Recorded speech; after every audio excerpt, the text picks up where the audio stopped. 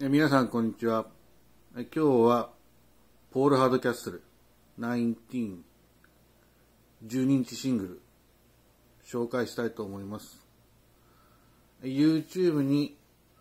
えーっと、この曲の各国語バージョンがコンプリートされているのがあって、50分ぐらいあるんですけれども、最近それをずっとリピートで聴いているような、えー状況です。1985年にヒットして、全世界を震撼させた19すべてのバージョンがここに結集ナレーターに小林看護アナウンサーを迎えて完成したジャパニーズミックスを収録した我が国のみの限定版っていうのがこれですね。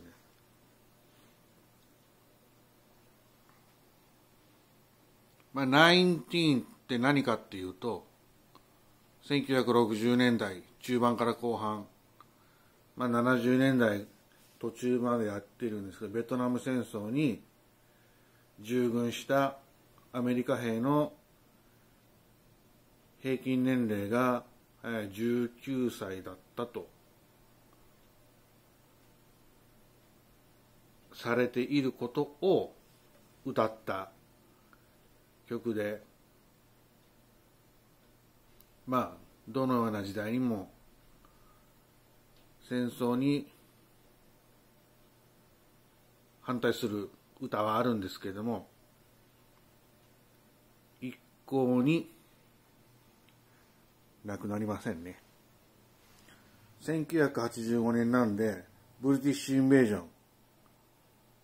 85。まあ80年代のヒットチャートは、イギリス人がすごくたくさん出てきてましたけども、そのメインが85年だったとこのレコード会社は増してますね。こっちにもありますね。この下の方のレコードがザ・ファイナルストーリーといって、各国語バージョンが入ってますね。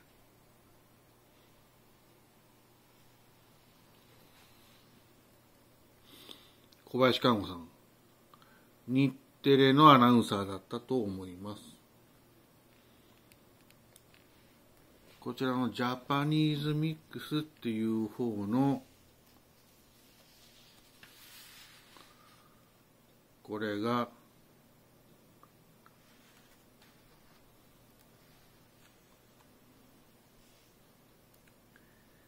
ライナーなんですけども小林看護さん載ってますね。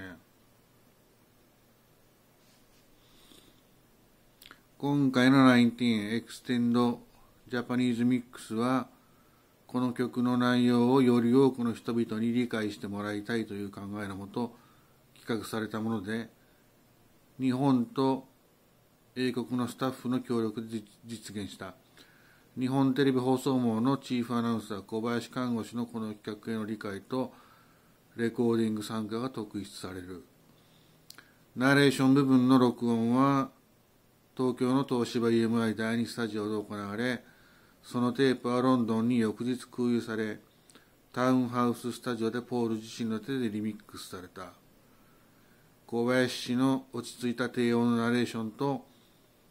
ポーズのリミックステクニックでオリジナルバージョンを超える作品が誕生したと。いうことです。結構この小林看護さんバージョン私も好きでよく聞いてますね。オールハードキャストですね。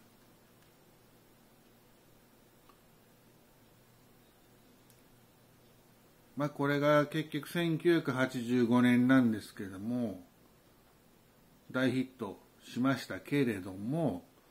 その後戦争はなくなりませんし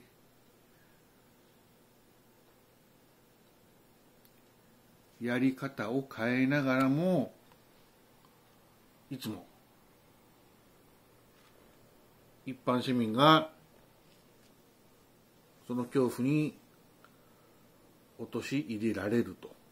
いう構図は変わってないですね。戦争でさえもエンターテインメントになっちゃうのかという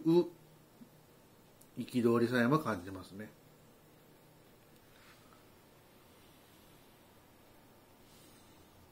クリスタルスレコード。こちら側のファイナルカッツの方のライナーには、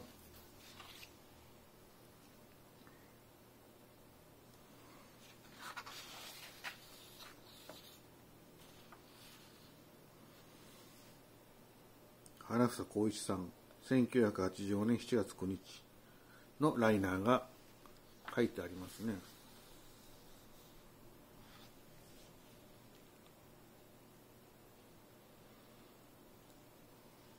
触りの部分ちょっと読んでみましょうか。初めてこのレコードを聴いた時のあの強烈な印象が忘れられんね。頭の中をよぎったのは、ディアハンターでのロシアンルーレット、それに地獄の目視録目視録で次々と爆弾を落としていったヘリコプター。でも肌に伝わってきたのはそんな映画よりもっとリアルでショッキングなものだったような気がする。例えば、しょっぱなに飛び出てくるアナウンス。まるで無機的で無表情に語る声だ。それが異常に現実的で、何かゾクッとする肌寒さを感じたみたいだった。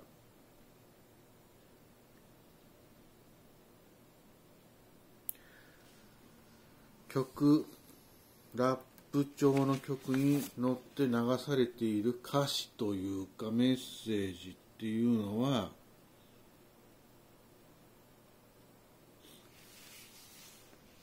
暗いっすよね。とにかく。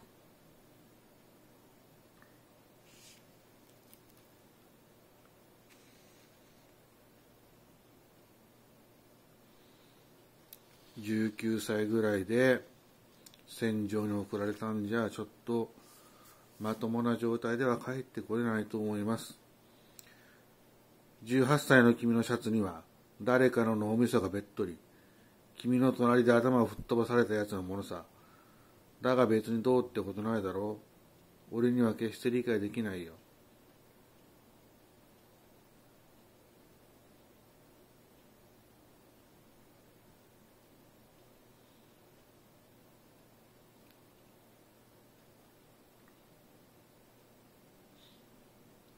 ジョン・レノンが反戦歌を歌っても戦争はなくならないしバンドエイド、イギリスのロックンロールミュージシャンたちが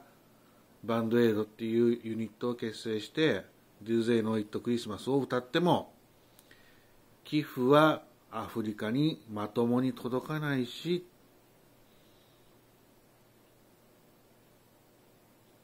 こういう直接的なメッセージの歌が流行っても戦争はなくなりません。人間はどう生きていければいいのかっていうと、やはり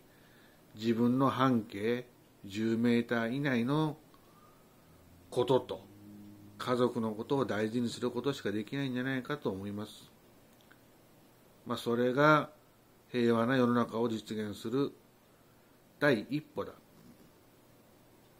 という説もありますけども、人間はそれしかできないと思うんで、とにかく身近な家族を大事にしていかなくちゃいけないんだろうと思います。このポール・ハットキャッスルの19私の手元に2枚あるんですけれどもジャパニーズミックスと The Final Story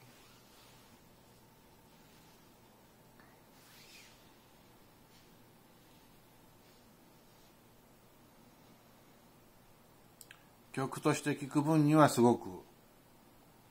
あの頃が懐かしい感じがして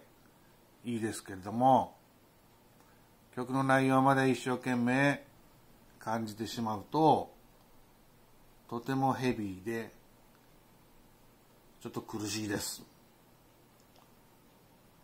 エンターテインメントとして聞くのが一番なんじゃないか